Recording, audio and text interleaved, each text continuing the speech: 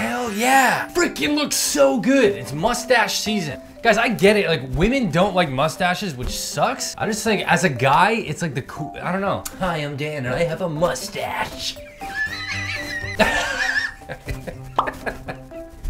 That was a good little like whispery ass laugh there. Before we get into any shenanigans with this video, I feel like I need to tell you what the DIY is. I've been trying to figure out how I can make an art piece related to how we all are so consumed about our appearance, our physical appearance. We either are comparing ourselves on Instagram, we aren't feeling adequate enough on the inside because of Hollywood or influencers in our hometowns or whatever. The grass always seems to be greener when it comes to the looks department. We're gonna make a mirror that lights up from the back, that has wording on the top and bottom of one of my favorite quotes or poems. I have my moments, of course, when I look in the mirror and stuff like that, but for the most part, if I have an outfit that I like to wear, I'll wear it. There's two other people I can think of that, that do the same thing. My cousin Jeremy and my brother Brad. That's this week's DIY, this art piece. I've saved a special outfit for this exact moment. Let me show you. Come on, buddy. Tonight I'm gonna have myself a real good time.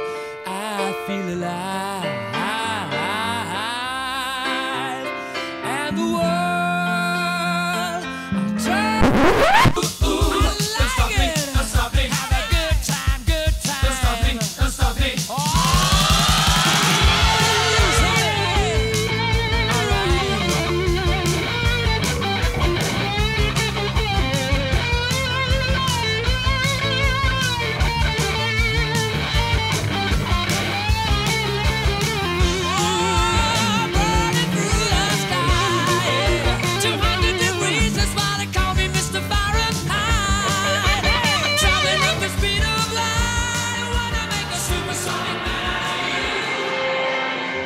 Day two. You know what I noticed actually when I just sat down? Mugs are either a left-handed mug or a right-handed mug. And it's on the left, so if I want people to see that, I gotta drink my left hand. But I feel like it's more natural. Do like a Karen hold, you know? Hand in the mug, just like you're cold. Yeah. Today we're doing the DIY. Like th this quote that I'm kind of saying in this video, look a little closer, stare a little longer. It's something that I've actually thought about in my head for a few years now. I want you guys to feel that you can love yourself for who you are and what you see. Let's hit up some craft stores. We gotta go to an electronics store. Let's go. All the leaves are brown,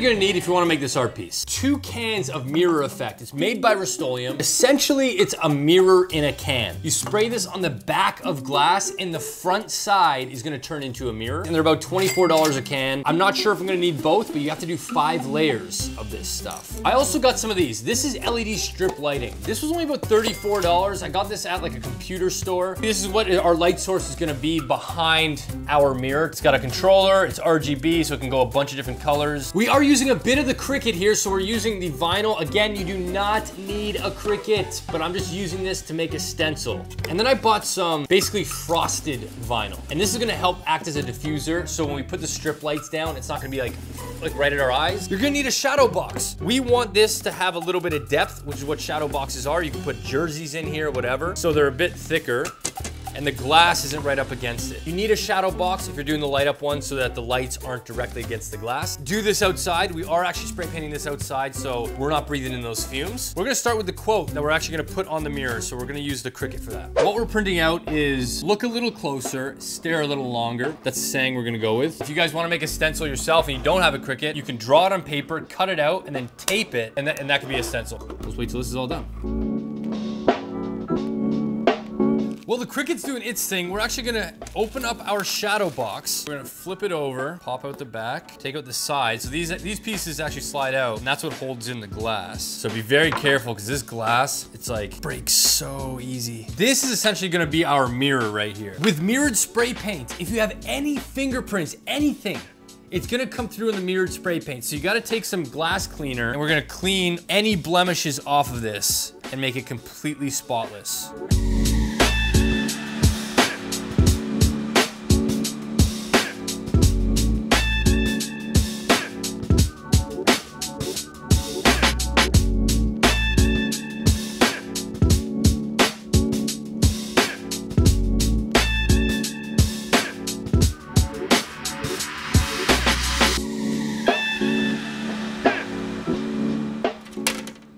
Little closer. We're just using that to protect the glass where we don't want the mirrored spray paint to go. So next is uh, spray painting. We gotta spray paint the mirror in a can now. Now it's time for the fun part. Mirror in a can, very thin layers, one pass, one pass, one pass.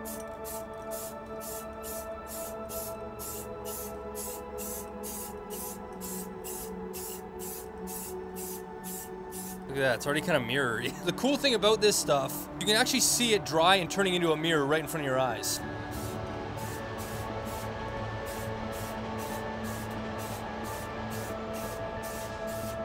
Okay, next layer.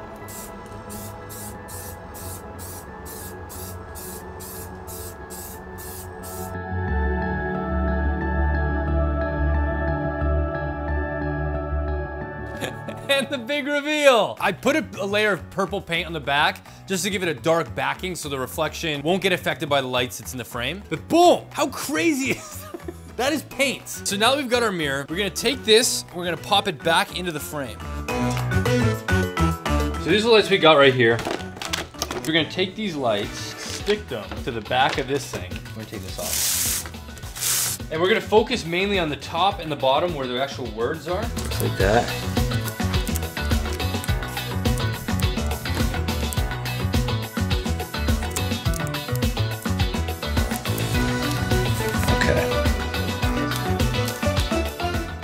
See how this looks. Let's plug it in. We have the receiver, we have the plug right here. Boom. Okay, we got our colored board now. It's got a controller so we can go red, we got blue, we got green, yellow. Before we put this in, we're gonna remove the lettering, put in a small sheet of like sort of opaque, semi-transparent paper.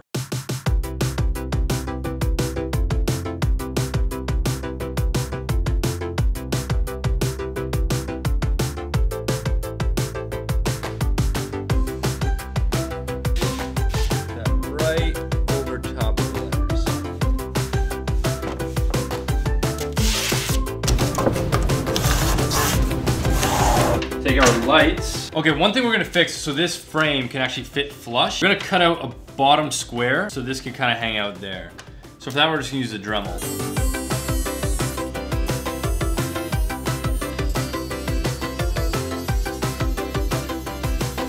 Boom. So handy. Oh my God. Okay. Should we do a big test? Oh! Oh! Yo, that works so good! Oh my god. Yellow, oh my god. That looks way better than I thought. That is so cool.